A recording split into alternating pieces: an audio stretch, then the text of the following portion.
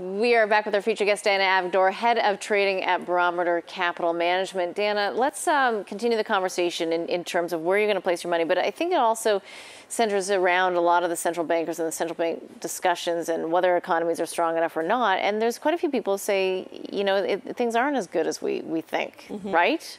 Well, that's what pe- that's the argument, a, that's right? the narrative out there right now. Yeah. So, so let's get your view. Yeah, so that we, we, we see it too from clients and from the street, you know, the constant battle about, you know, why the market should set off, sell off, why, uh, how many, even on how many years this bull market is, is a bull market. Mm-hmm. Some say eight years, some say three years, some say five years.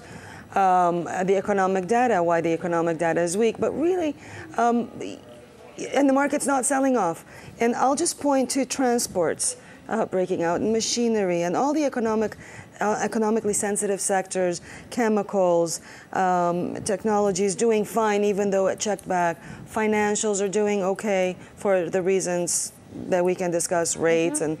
and, and, and normalization of regulations. So there's so many sectors doing so well, the earnings are fine.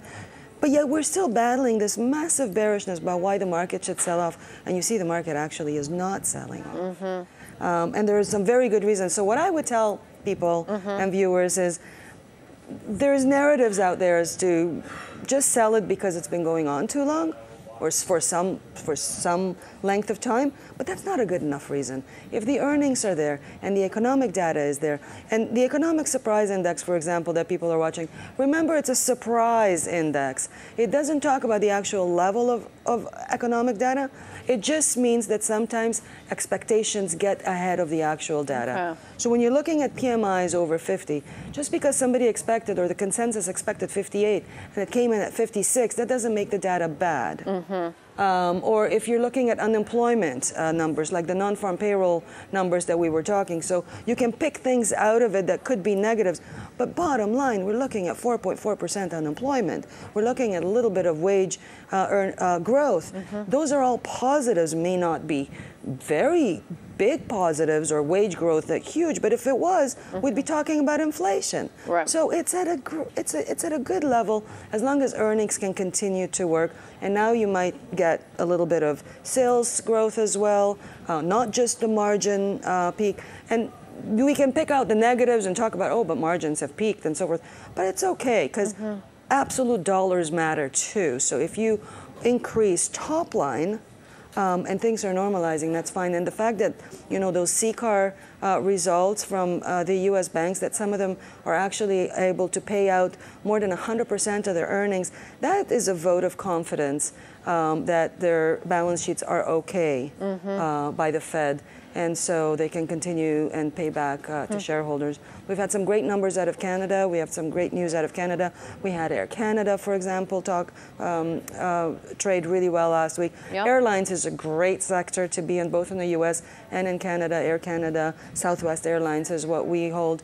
Um, mm-hmm. There's lots of uh, investments, so don't sell your investments on the theoretical narrative. Look at what's actually happening. Do you think that um, we are, though, in an environment where the company specific story is even more important because of the economic environment perhaps not being as smooth for all sectors? What I'm hearing from you is that is actually a little bit more broad based than, than what I just said might suggest. In other words, you, you can own more stocks than you could have thought maybe three months ago, even.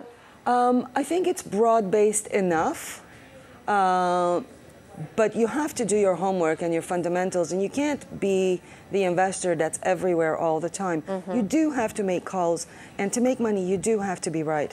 So um, there's going to be sectors that don't work and sectors that do work, and there's that dispersion of returns within sectors. Mm-hmm. So correlations are low and volatility is low. And some of that is also because of the passive money that has entered the market in the last decade, let's say. But outside of that, um, there's going to be sectors that work, and you as an investor and us as, as asset managers need to do our homework and be in what works. Not everything is going to work. Right. So, uh, fundamental uh, research and being right in the right sector is of utmost importance. Diana, from a top-down perspective, um, geographic perspective, where do you want to have the weighting of your money today? We currently have uh, a lot of our investor investments in the U.S., um, 10 to 20 percent in Canada. Only. Only. Only 10 to 20 percent in Canada. Only 10 to 20 percent in Canada. And from a global perspective, if you run a global portfolio, that is not an that is not an underweight. That's an overweight. Right. But we're Canadian, so we do love our home base more. Plus, we're priced in Canadian dollars, so um, there is a natural um, anchor there.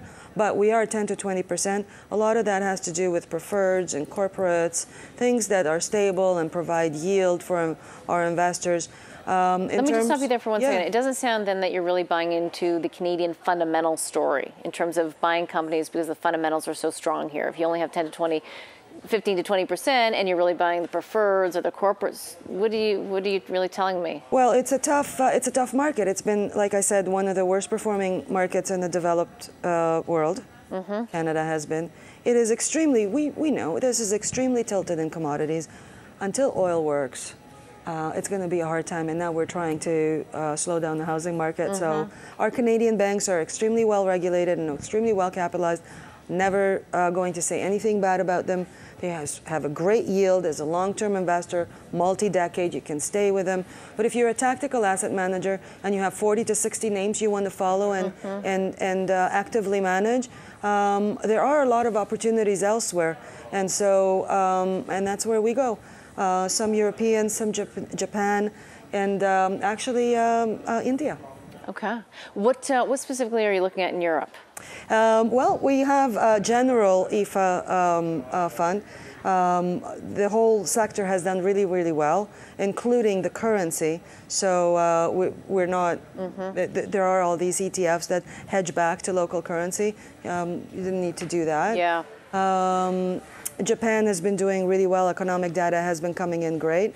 Um, and, uh, and India is growing at 7% with a population that's uh, industrializing and, and uh, developing, and so great market. Diana, with respect to the United States, the sectors that you like, yeah, you like airlines. We like Sounds airlines. like you like financials. Yes. Um, tech. We like tech. What do you want we to have avoid? taken down. We have taken down uh, our tech weight um, uh, to repurchase uh, and increase our weight in financials. It has never gone. It has never been. Uh, there has never been no weight, but Mm-hmm. we just uh, we just reallocated some of the some of the funds. And in terms of airlines, they're really uh, we own Southwest, and like I said, Air Canada too in uh, Canada as a Canadian. That's a great Canadian. If you wanted a Canadian investment, they're in a really uh, great situation with Air Canada costs. Um, debt is in uh, U.S. dollars, for example. Canadian dollar strength helps them. Um, the oil weakness helps them as well, and, and they're really restructuring. In terms of Southwest, um, you know, uh, consumer is doing okay. Uh, business travel is on the rise. Um, so um, it's kind of a golden opportunity um, Sure. to be there. In terms of the financials, you saw the CCAR. Um, they're reporting. We'll see how that comes out. Those are that's going to be a very important trading day on Friday. Do you like the big money center banks in the United States, or do you like any of the community banks? I've had Um, some conversations about those, which I think are really interesting, or the or the regionals. Um, we'll we'll stay with large cap for now, and uh, and let it play out. Uh, although you know you look at Russell 2000 today, for example, and several days already has been started weak and and kind of rallied. So there is, um, and it tends to uh, tends to point to risk appetite when uh, you start going down the capitalization uh, Yeah. ladder. So, uh, but J.P. Morgan, Wells Fargo, Citi, Bank America. Uh, I mean, uh, you don't need to take risk. Uh, you don't need to take small cap risk. Um, these guys are undervalued enough to have the kind of potential return that you could potentially get from a smaller company. Okay, Diana, great to see you. Thanks so much Thanks, for Catherine, coming in. for Thank me. you.